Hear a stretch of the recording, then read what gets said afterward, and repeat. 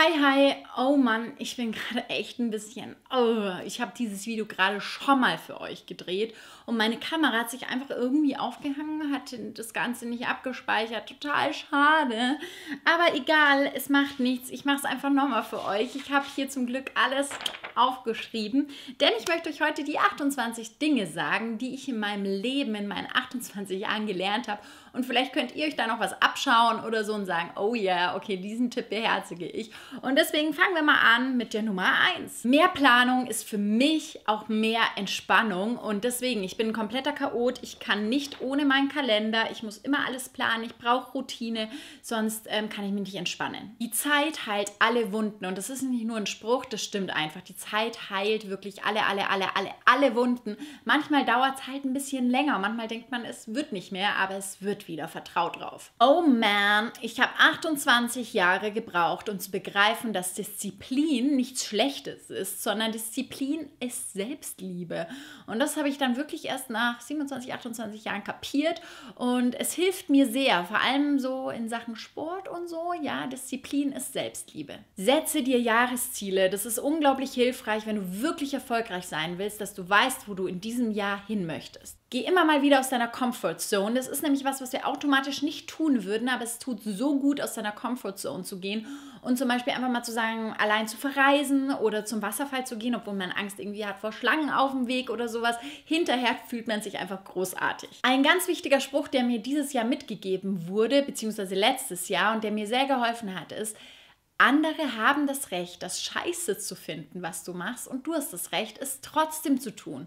Und das finde ich ist ein unglaublich wertvoller Spruch, auch so auf Eltern oder Freunde bezogen, wenn die es nicht gut finden, was du tust. Die haben das Recht, es nicht gut zu finden, aber du hast das Recht, es eben trotzdem durchzuziehen. Ich habe in 27 Jahren nie das perfekte Salatdressing für mich gefunden und habe jetzt entdeckt, dass Kürbiskernöl für mich die Lösung ist. Ernährung ist super wichtig und jeder und wirklich jeder sollte sich mit Ernährung auseinanderzusetzen, äh, auseinandersetzen auseinandersetzen, denn wir essen nun mal jeden Tag. Jeden Tag müssen wir essen und uns ernähren und da ist es einfach super wichtig, Bescheid zu wissen, was hier oben reinkommt und wie, mit was man sich füllt und was einem wirklich die Energie gibt, die man braucht. Und ich bin so glücklich, dass ich zu diesem Thema Ernährung für mich gefunden habe. Ich kaufe nur noch Kleidung, die bequem ist, denn alles andere ziehe ich nicht an. Es kann noch so schön aussehen. Ich ziehe einfach Kleidung nur an, die wirklich bequem ist. Investiere mehr in Pflege als in Schminke, weil ganz ehrlich, ähm, Schminke ist halt so eine Sache, ist ganz nett und man kann sich damit austoben, aber am wohlsten fühlen sich dann doch, glaube ich, die meisten eigentlich, wenn man auch ungeschminkt gut aussieht und eine schöne Haut hat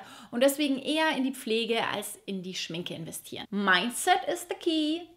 Reduziere Medien in deinem Leben und das sage ich als YouTuber unglaublich, aber es ist wirklich so, äh, entfolge Instagram-Accounts und mach mal eine YouTube-Pause und so. Das ist so wichtig, damit man wirklich wieder bei sich ankommt. Und oft hat man dann wirklich auch ein höheres Selbstbewusstsein, wenn man nicht die ganze Zeit diese gefotoshoppten Leute auf Instagram sieht oder irgendwie YouTuber, die die zehnte, ähm, weiß ich nicht, Lidschattenpalette für 60 Euro in die Kamera halten und man selber fühlt sich schlecht, weil man sich nicht leisten kann. Wenn man dem Ganzen mal ein bisschen entsagt, fühlt man sich sehr, sehr viel mehr in seiner Mitte. Wenn du mehr Wasser trinken willst, kauf dir ein schönes Glas. Es ist einfach so. Ich wollte nie gerne Leitungswasser trinken aber seit ich ein richtig schönes Glas habe, mache ich das richtig gerne und trinke echt viel davon. Ich bin einfach eine Blondine. Ich habe so oft versucht, meine Haarfarbe mal zu wechseln, dunkler, heller und so weiter, aber ich bin einfach eine Blondine. Lebe in der Gegenwart, denn nichts und wirklich gar nichts kann man noch mal genauso wiederholen. Du kannst nichts, wie soll ich sagen, ja wieder aufleben lassen und es genauso noch mal fühlen und genauso noch mal erleben.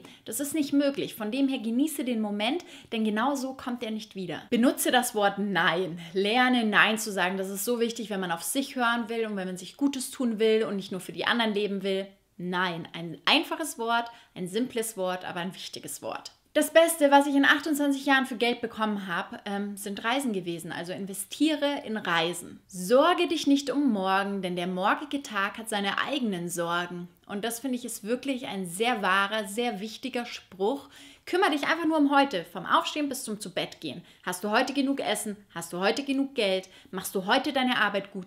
Denk nicht an morgen, denn morgen sind die anderen Sorgen wieder da für den morgigen Tag. Aber heute gilt nur heute. Dein Körper ist dein Kapital und das Beste, was du besitzt. Und deswegen gib gut auf ihn Acht und höre auf ihn. Hör auf die Signale, die dir dein Körper gibt. Also sei es, ich bin müde, ich muss schlafen, ich möchte mich bewegen, ich brauche eine Auszeit, ähm, ich möchte jetzt vielleicht nicht feiern gehen, ich fühle mich einfach eigentlich überhaupt gar nicht bereit, jetzt irgendwie rauszugehen zum Feiern, sondern möchte zu Hause bleiben. Hör auf deinen Körper, er wird es dir sehr, sehr danken. Eine super wichtige Sache ist, dein Leben ist jetzt perfekt. Du bist jetzt genau an dem Punkt in deinem Leben, an dem du sein sollst und an dem perfekten Punkt. Und es wird eigentlich nicht mehr besser.